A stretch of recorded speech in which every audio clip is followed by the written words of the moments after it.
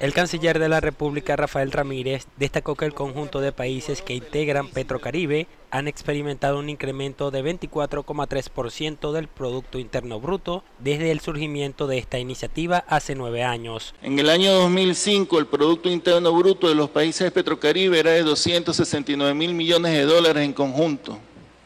En el año 2012 el Producto Interno Bruto alcanzó los 355 mil millones de dólares, un crecimiento de 24,3%. Hay innumerables estudios de distintas agencias multilaterales que demuestran que de no haber existido Petrocaribe